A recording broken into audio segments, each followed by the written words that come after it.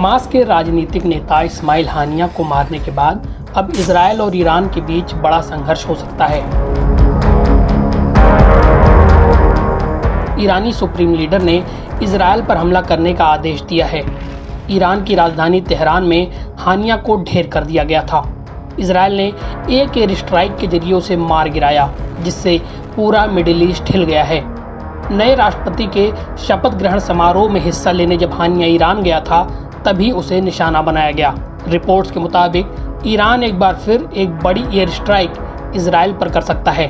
ठीक उसी तरह, जैसा उसने इसी साल 14 अप्रैल को किया था। ईरान ने तब मिसाइल और ड्रोन के ज़रिए हमले किए थे, जिससे पूरा इसराइल हिल गया था।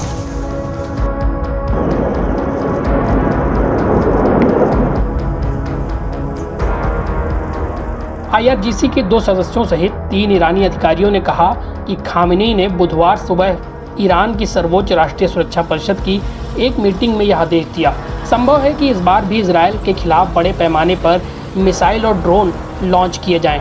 हालाँकि इस बार सिर्फ़ ईरान ही नहीं, बल्कि यमन के हूती विद्रोही, इराक के इस्लामी प्रतिरोध और सीरिया के लड़ाके भी शामिल हो सकते हैं। इसके अलावा लेबनान का हिजबुल्ला भी हमले में शामिल रहेगा, जो पिछली बार बाहर था। क्योंकि इसराइल ने उसके भी सबसे वरिष्ठ कमांडर को ढेर कर दिया है। ऐसे में पहली बार अपनी कुछ सबसे सटीक मिसाइलों को हिजबुल्ला इसराइल के खिलाफ लॉन्च कर सकता है। लेबनान के हिजबुल्ला ने पुष्टि की है कि उसके वरिष्ठ कमांडर फुआद शुकर दक्षिणी बेरूत में इसराइली हमले में मारा गया था। इसराइल का कहना है कि गोलान हाइट्स पर मिसाइल हमले में मारे गए 12 बच्चों की मौत का ये जिम्मेदार था।